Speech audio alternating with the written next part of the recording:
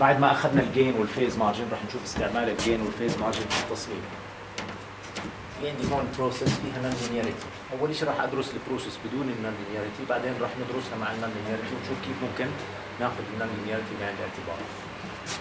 في عندي هون tank tank في عندي هون hydraulic actuator وال hydraulic actuator هون في controller عمالي باخذ ال signal ال feedback signal ندخلها هون على controller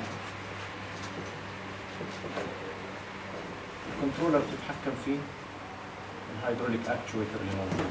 فال hydraulic actuator زي pump مع valve وبتضخ proportional كمية proportion من ال fluid بتدخلها على هذا ال tank المشكلة الأساسية بهذا ال system موجودة هون إنه في عندي مسافة من النقطة هاي للنقطة هاي اللي هي D فعندي هون لما بغير لما بصير في عندي تغير معين ما راح يبين أثر هذا التغير إلا بعد مرور الوقت هذا اللي موجود. هون هذا اسمه أحيانا بسموه transport delay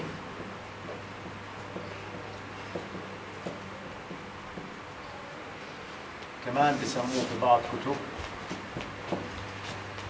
lead time مرات بسموه transport أو time lag transport lag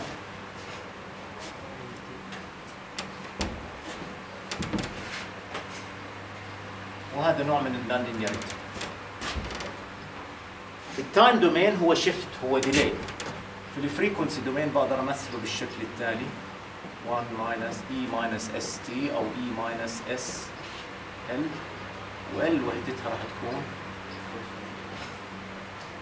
seconds.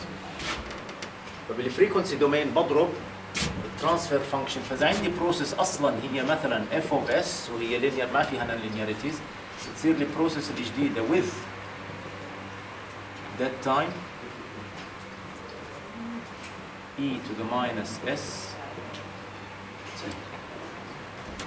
وهذا هون. Without.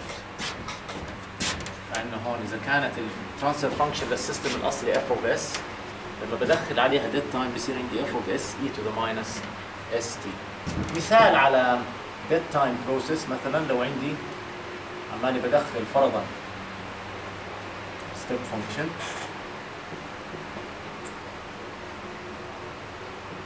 شوفوا رمزه هيك في ال simulate بسموه اظن transport delay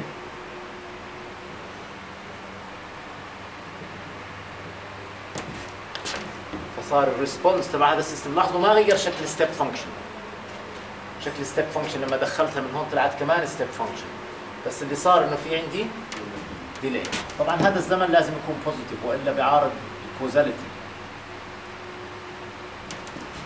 يعني delay ما بيصير يصير قبله. بده يكون بعده طبعا بس بعده بزمن معين. بس نفس شكل الهاي ما بيعمل أي distortion على شكل الهاي. مثلا مثال ثاني على transport delay لو أنا عندي هون conveyor belt وفي عندي هون مادة عمالي بنشف فيها فرضا أو بضيف لها قيمة معينة مثلا هون آه، مي مثلا أو بعرضها لحرارة heat وال sensor تبعي موجود هون.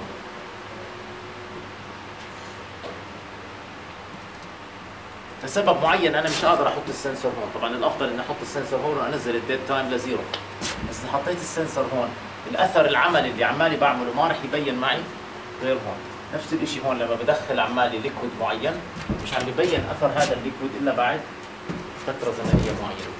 فهذه ال distance فهون ال dead time بالحالة هاي بيساوي D على V V اللي هي سرعة هذا ال conveyor belt اللي موجود. راح يكون ال dead time في هاي ال process.